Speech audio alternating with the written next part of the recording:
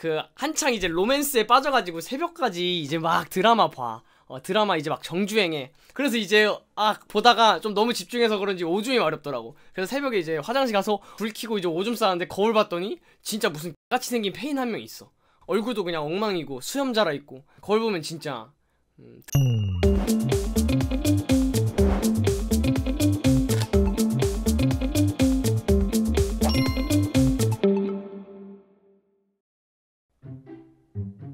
나 World War Z 내가 지금까지 봤던 좀비 영화 중에 top 1이거든. 좀비 영화 좋아하시는 분들 World War Z 꼭 보세요. 스토리가 굉장히 재밌어요. World War 그냥 full로 볼까? 유튜브로 짧게 볼까? 그건 무조건 full로 봐야 돼. 그거는 스토리 전개로 보는 게 아니라 그 장면 장면 스릴 스릴 넘치는 장면을 봐야 돼서 World War Z는 무조건 무조건 full로 영화로 봐야 됩니다 근데 나는 개인적으로 좀비 영화를 좋아해서 더 재밌게 본 걸 수도 있는데 어, 나는 이제 친척 형님들이 이제 좀비 영화를 되게 좋아했어. 그래서 우리는 약간 하나의 문화였어. 무조건 추석이랑 설날에 가서 형들이랑 방에서 이제 불 다 꺼놓고 좀비 영화 다 같이 봤거든. 와 그거 진짜 추억이다. 그래서 우리는 항상 추석이나 명절에 가면은 우리 무조건 좀비 영화 보고 그랬었어. 그 어린 사람 입장에서 형들이 해주는 얘기가 뭔가 나는 진짜처럼 많이 느껴져서 아 저기서 저렇게 하면 안 되지 이렇게 만약에 말해 형들이 그럼 진짜 저렇게 하면 안 되는 것처럼 보여. 그래서 영화 보면서 더 답답하고 형들이 말하는 게 정답 같고. 어, 사실 좀비 영화는 대부분 다 똑같잖아. 평화로운 미국 가정집에서 멋있는 아버지가 어, 딸들 이제 밥 먹이면서 이러고 있다가 잠깐 일하러 나가 어, 그래서 아빠는 혼자 있는데 가족들 엄마랑 딸들은 같이 있고. 전화로? 무슨 일이야? 하면서 이제 구하러 가다가 결국 그, 그들 가족들이 주인공이 돼서 이제 결국에는 그 좀비 해독제 찾으러 다니는. 그러다가 이제 결국 다 죽을 뻔하다가 한두 명 정도 죽고 한 두세 명 남아가지고 행복하게 살아갈 수 있을 것 같은 그런 엔딩으로 끝나잖아. 사실 공포영화도 다 똑같거든. 저기 가면 안 될 것 같이 생겼는데 가서 괜히 당하고. 그리고 심지어 이제 연출적으로 이제 서스펜스라 그러는데 주인공은 모르고 있는데 우리는 알고 있는 것들이 있잖아. 예를 들면은 범죄자가 이 사람 방문 앞에서 이렇게 기다리고 있어. 근데 사람이 이제 주인공이 그 방문으로 방문으로 다가가. 우리는 범죄자가 있는 걸 아는데 주인공은 모르잖아. 그럼 우리가 거기서 이제 답답함을 느끼잖아. 어 저거 어떡하지? 가면 안 되는데? 하는 그 감정. 그게 서스펜스라 그러거든요. 그걸 이제 영화적 연출적으로 되게 많이 쓴단 말이야.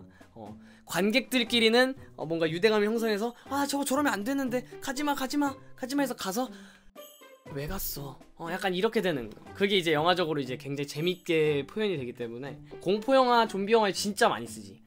그리고 소리 지르는 거 보면 라거임. 다들 그 영화 배우들 예를 들면 미국이면은 그냥 NO!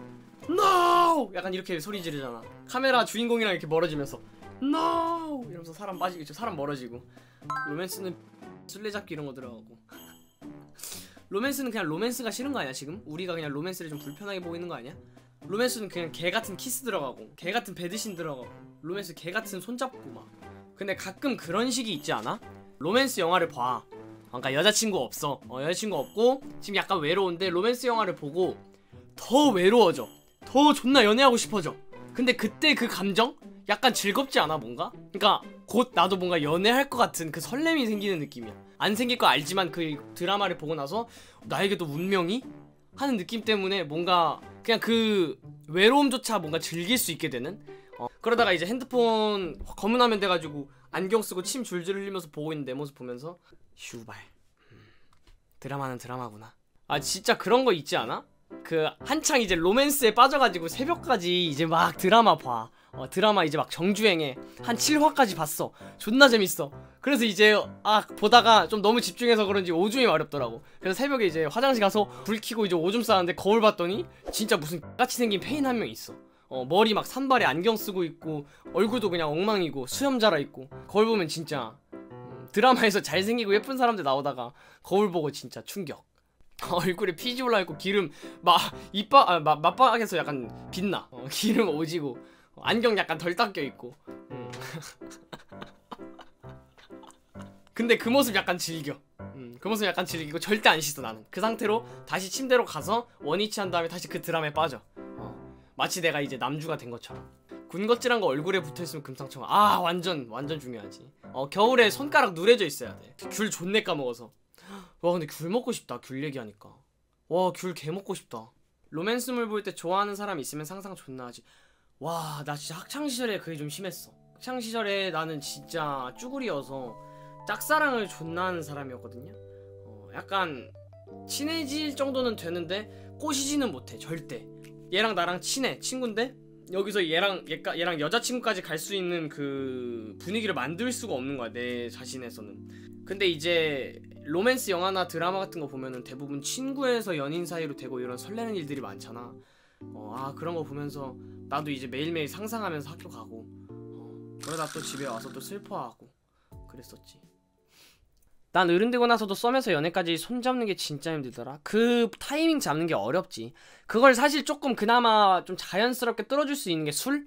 술은 이제 술 먹고 약간 내가 도전적인 이런 것도 생길 수 있지만 그건 약간 위험할 수도 있는데 그걸 떠나서 술이라는 것 자체가 사람들한테 있어서 분위기를 주거든요. 그러니까 내가 취해서 생기는 분위기일 수도 있는데 그냥 술 먹는 그 자리 자체가 분위기를 형성을 하기 때문에 어, 그걸 술은 되게 이유 없이 먹을 수 있잖아. 어, 어렸을 때는 야 우리 둘이 카페 갈래? 이러면 너랑 나랑 카페를? 왜? 이렇게 할 수도 있는데 야야 오랜만에 봤는데 술이나 한잔 하자 하면은 되게 뭔가 이유 없이 그냥 어, 명분 없이도 술을 먹을 수 있잖아 어 그러면 술 먹고 분위기가 생긴단 말이지 그걸로 이제 연애 시작을 많이 한 사람들이 있지 근데 나는 약간 개인적으로 취중 고백은 좋아하진 않는 편 취해서 손을 잡았더라도 고백은 정신 차려서 하자 타입이야. 뭐 취해서 손잡고 분위기가 생겼어. 존나 떨려. 막 심장 두근두근거려. 가뜩이나 술 먹었고 지금 혈중 알코올 농도랑 막 혈액순환 빨라지고 두근두근 하는데 어, 손잡아서 더 두근거려. 막 뒤질 것 같아. 그러다가 이제 정신 차리고 다음날 우리 내일 한번 보고 얘기 좀 할까? 하고 이제 다음날 진지하게 얘기하려 했는데 상대방은 어? 나 어제 실수였던 것 같아 영서야. 미안해. 우리 다시는 연락하지 말자